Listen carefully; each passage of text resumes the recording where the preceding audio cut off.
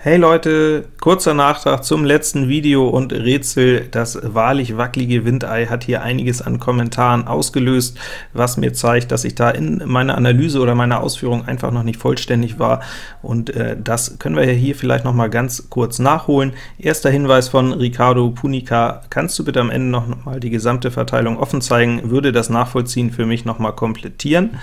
Damit starten wir also hier, und zwar so sieht die Verteilung aus. Wir hatten das ja hier aus Sicht von Mittelhand betrachtet. Der Alleinspieler hat hier wirklich äh, ein ziemlich grottenschlechtes Spiel.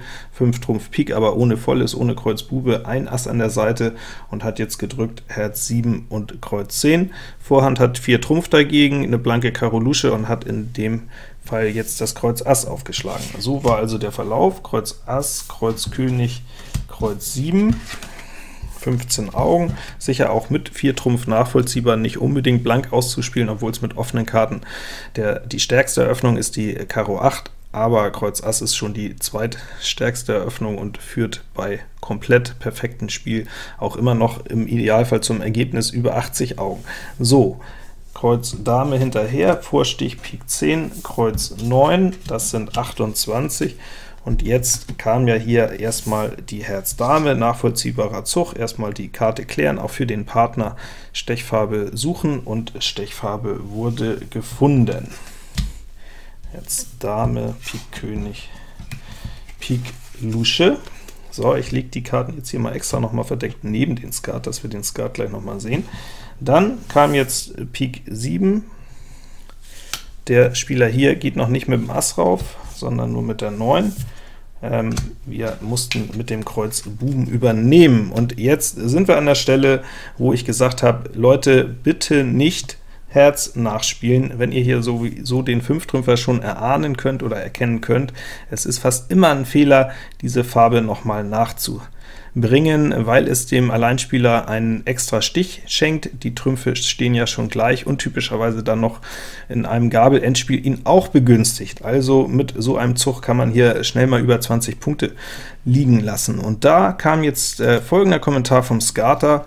Hi Daniel, im fünften Stich Herz nach ist auch immer Verlust für den Alleinspieler. Karo mache ich nicht auf und wir gewinnen immer mit 60. Deine Analyse heute hat mich nicht überzeugt und ist wohl auch nicht ganz richtig freue mich immer über deine Beiträge, aber die Rätsel in der App werden immer leichter. Gut, Skata also, ähm, erstmal den letzten Punkt vielleicht, ja, dieses war nicht unbedingt das schwerste Rätsel in der App, wo man dann auch vor allen Dingen mit beiden Karten dagegen spielt. Da wäre es sicher eine Verbesserung, auch äh, im Gegenspiel mal nur eine Hand zu führen. Daran arbeiten wir noch. Insofern, ja, nicht das schwerste Rätsel, aber mit verdeckten Karten eben eine ganz andere Geschichte, und wo ich natürlich viel lieber noch mal drauf eingehe, ich habe dich nicht überzeugt, die Analyse wäre nicht richtig und 60 immer möglich. Gut, ähm, man kann es mal analysieren, wenn jetzt die Karo 9 kommt, dann ähm, bekommt die Gegenpartei im Idealverlauf 77 Augen. Wenn jetzt die Herz 9 kommt, bekommt die äh, Gegenpartei maximal noch 66 Augen, wie hier auch im Rätsel. Allerdings, und das wird ja hier nicht berücksichtigt, nur mal angenommen, der Alleinspieler hätte jetzt ähm, sich äh, etwas anders gedrückt, hätte die Idee gehabt, die Kreuz 10 zu dritt oben zu lassen und den Karo König zu drücken, was ja auch mal eine Idee ist, so schlecht wie das Spiel war, einfach zu hoffen, dass Kreuz auf den Tisch kommt. Und dann kommt jetzt hier Herz 9 hinterher. Dann sieht die Geschichte nämlich schon ganz anders aus, dann ist das hier tatsächlich der entscheidende Fehler, der dazu führt, dass der Alleinspieler das Spiel plötzlich im Schweinsgalopp gewinnt. Und zwar äh, wirklich im Schweinsgalopp, denn er kann jetzt hier die Kreuz 10 noch abziehen, er kann jetzt hier noch das Karo Ass abziehen, und jetzt gibt es ja den Zwangsvorstich, den es im Rätselverlauf auch gab, allerdings ähm, ohne dass die Gegenspieler jetzt überhaupt noch was dagegen tun ko konnten, und der Alleinspieler gewinnt plötzlich mit 69, und das vielleicht ist hier die erste, äh, am ehesten die Begründung dafür, warum also auf keinen Fall jetzt hier nochmal der Herz hinterherkommen sollte. Das ist einfach eine äh, schlechte Karte, eine schwache Karte, die aber eben von vielen Einsteigern, Anfängern gerne gespielt wird, noch ein zweites Mal den Spieler auf Trumpf setzen, und das ist eben gegen 5 Trümpfe einfach keine gute Idee. So, und dann hatten wir noch die letzten Kommentare von einigen von euch. Ich lege das jetzt hier mal wieder so zurück, wie es tatsächlich gedrückt war. Kreuz 10 war im Keller, Kreuz 8 war noch hier, Karo 9 war noch hier. Ähm, es gibt noch Nebenlösungen. Also ja, nachdem jetzt hier dieser Stich gelaufen ist, wo haben wir ihn? Hier haben wir ihn mit der ähm, hier gezeigten äh, Karte gibt es Wege auf 60, und zwar folgende.